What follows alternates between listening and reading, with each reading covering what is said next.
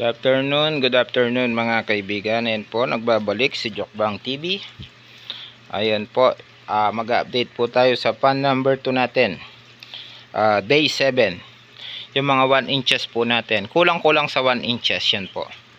Ah, nasa 38,000 po to, 38,500. Dito po namin nilagay lahat. Ayan. Naka-aerator, tapos naka-ready na po yung running water natin mga kaibigan. Bali day 7 po nila ngayon, 1 week na. Lumaki na po sila ng 0.5 inches. Yan. Dating nasa 0.7 inches, nasa 1 inches plus na po sila ngayon. Ayan po, yung pinapakain po namin sa kanila is 150 grams. Hinahati po namin yun sa dalawa. Na 75 grams sa 6 a.m., 75 grams sa 9 a.m. Ayan po, yung mortality po is isa pa lang out of 38,500. Yung nakikita po eh, yung visible.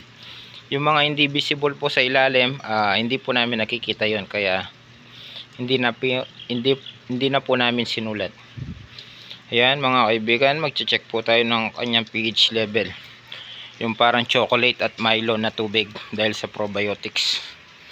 Ayan po. Ito po yung kanyang pH level. Ayan po, nasa 7 point Ayan, bumababa pa. 7.6 siguro to mga kaibigan. Ayan, bumababa pa. Pag bumaba po sa 7.5, it means goods na goods. Ayan, pag ganyan po, ililista na po natin. 7.5. Ayan. Yung kanyang pH level is 7.5. Ayan, walang pagkakaiba kahapon. Bali yung temperature po dito kasi medyo malilim po dito. Ayan, may ano po kasi kawayan. Pero may naiinitan po. Mga 1 port ng pan. Ito po yung kanyang temperature. Ayan po, nasa 28.6. Mas malamig po ng konti dun sa dalawang pan. Yung dalawang pan po kasi is 30 plus.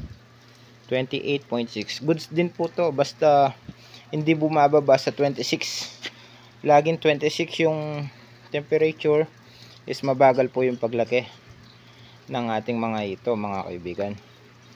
Ayan po. Uh, okay na po yung update natin. Sa pan number 2 yung 38,500 na fingerlings na 1 inches po.